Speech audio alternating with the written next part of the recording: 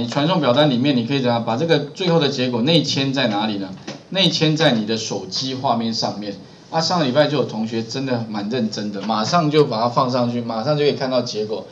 而且呢，哈，甚至还可以马上把它改成不一样的样式，不一定要长得跟，就是你背景不一定要用内建的，你可以改变，只要好像是不是里面的 ID 就可以了。这里面的什么？哦，样式改变就可以了。OK，所以也可以改改起来，完全看不出来是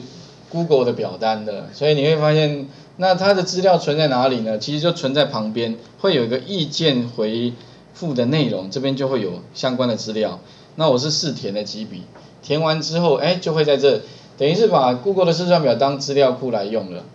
那其实说真的很够用了啦。坦白讲，你说这样他自己架 server，架 Web server，架 SQL server，太太累了吧，哈。那这样就好了，而且你看你的需求也只是要让客户填资料，何必要弄得那么麻烦？你说真的，就像说你要架个 server 哈，你用现在流行用语叫，有点像拿大炮要打小鸟，好一样的道理，就是说你不需要嘛，你只是说你只是要填资料，那用这种方式。另外这个有一个比资料库更棒的功能，就是说，如果你希望有人填的资料可以通知你的话。那有一个功能，这个也是因为我这个东西用很久了，我才才知道这个功能。一般人好像也不会特别去用。好，那那个功能哈，通知功能后来不是在这个页面，而在这个页面哦。这个页面哪里呢？工具里面通知规则。好，这个太好用了，因为我现在都这样用。只要有人填资料进来之后，有没有？他就通知我了，他就传一个 mail 告诉我，我看一下，哎，有。有一些讯息进来了，那我再去看一下，它而且会既没有给你，顺便连接到这个画面，你就可以马上知道人家留的讯息。嗯，那这个对于很多地方都非常好用。好，只要表单呐，他只要提出需求，你就可以马上跟他回应。上面也许有电话号码，你可以马上跟他联络啦。好，所以客户如果假设你要。在线上接案的话，你也可以弄个这个啊，对，马上通知你，马上跟问他哦，早跟他约时间，哎，不用约时间啦，也许他填你的那个表格设计越好，你就越清楚他到底要什么，好，然后再去跟他回复一下，email 回复一下或什么方式啊，那回这个地方的话，通知规则就是说，呃，可以用什么呢？这个电子邮件立即，好，然后呢，在什么状态呢？在有使用者提交表格的时候，就 send 一个 mail 给你了。那这边不用填 mail，为什么呢？因为这个账号啊就是你的账号嘛，只有你，所以它自动会 mail 到你的信箱里面了。好，非常的好用。好，我很多表单我是这样用，所以只要有人填，像我那个什么部落格上面有学习签到簿，还有人。半夜也会在签到啊，他也会顺便有给我说半夜有人学习，好诸如此类的啊，这个功能非常好用啊，我觉得比那个比你自己写那个动态网页还要更好用啊，动态网页写半天还没这个功能，对不对？而且那个动态网页，第一个你要架 Web Server，好，第二个要安装一些一些相关的程式，比如 ASP.NET，你还要去加那个 ASP.NET 的相关的元件上去。然后在 server database server 你可能就是加 SQL 呃 SQL server 嘛，啊不然就差一点用 A A 用 SQL server express，好，那如果用 PHP 的话，你也是要加一个 PHP 的，看哪一种吧，Apache 或者是什么的，然后也要去维护那个 MySQL，对不对？那你还要担心会不会被骇客入侵，哦，啊如果说你是用 XP 架的，是以前有人用 PHP 架在 XP 上，你还要担心现在。微软已经不维护了，好，那随时可能会被攻破，对你又要再去想那些防火墙的问题，麻麻烦的。那如果有这种问题，而且你的需求非常简单，就只是取得客户端的一些简单的讯息，然后这个就好了。所以这个怎么做？我再把重点提示一下：一，你到云端硬碟上面，云端硬碟的位置应该都知道，Google 上面的云端硬碟。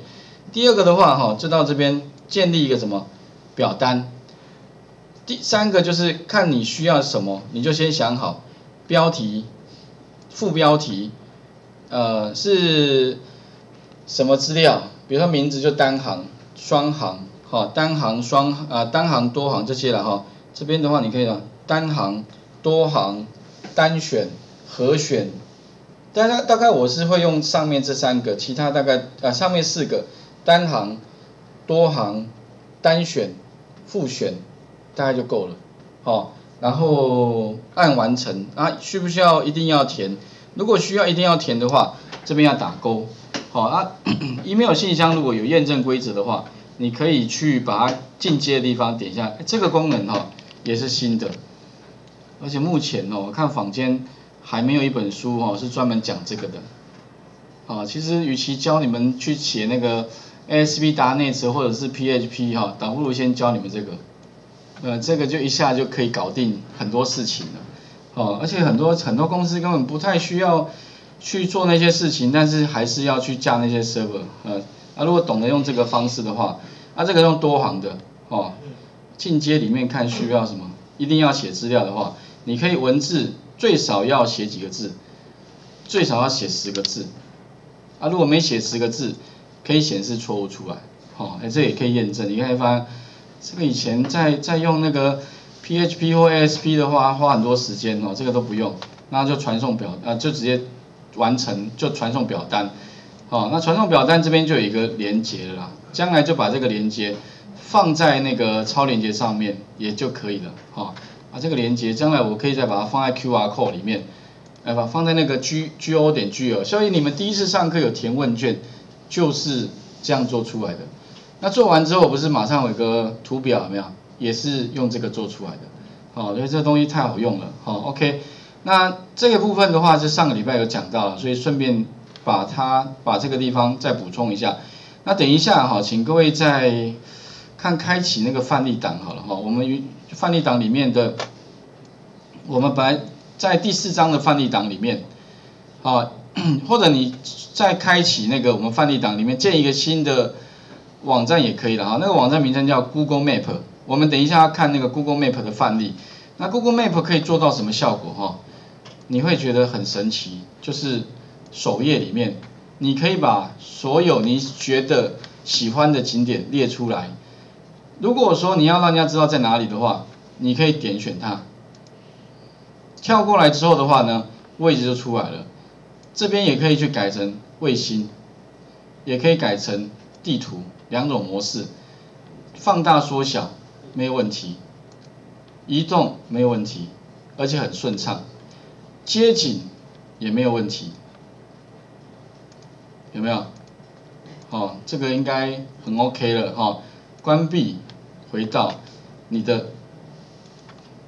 这样子，所以以后你可以想，你们家附近啊，或者是你熟悉的地方，有没有一些景点，你就可以来做景点介绍了。所以这个这个范例在旅游业的话，哈，哇，非常的很很好推。你就干脆找那个旅游业哦，然后你旅行旅游业的 app 有没有，通通一网打尽了，全台湾所有都被你做完了。对，以后就找到就是找找旅游 app 这个关键字都会找到你的话，哇，那我我看你这个机会去，等于你可以当工头了，甚至可以转包了。因为最后都找来找去就找到你了嘛，哦，那这个范例要怎么完成？其实坦白讲啊，这个我刚开始看到这个这个范例，我觉得哇太神奇，因为以前用那个 Java 的方式写的话，真的是太麻烦，麻麻烦到不行，麻烦到真的是抓狂。而且它又改版了，改版之后又要重写了，重重新再来。但是这个是不用去注册，马上可以看到结果。好，所以这个部分的话实在太好用了。好，这个东西坦白讲，用这个技术来做哈，真的啊该有的都有了，能做到的也 OK 了。好，所以这个要怎么做出来，我们等下再逐步的再跟各位做说明。哈，OK，这里的话请各位试试看。那刚刚那个云端白板的部分哈，你们也可以再试试看。那个云端白板那个部分的表单，哇，也是太好的一个技术了，哦，真的，如果自己有在做那个，有在用 server 的，应该都知道了，哦，其实大部分的需求都很简单，好，需要刻字化的部分其实真的是比较少数了，啊，你可以如果不需要刻字化的东西的话，你就直接用那个来做，哎，就可以解决很多事情了，啊，啊，甚至就是说你可以把它包在你的 app 里面。包在 App 里面的话，哎，User 也不知道说你是用其他什么样的技术做的，但是你又可以达到让使用者填完资料，通知寄到你的信箱里面，所以等一下你们就可以试试看了，填了资料，你的 email 你的手机就收到，你就会看到哎有人填资料，哦，所以哈这个感觉还蛮好的，所以你就不用 stand by 在那个地方，哈。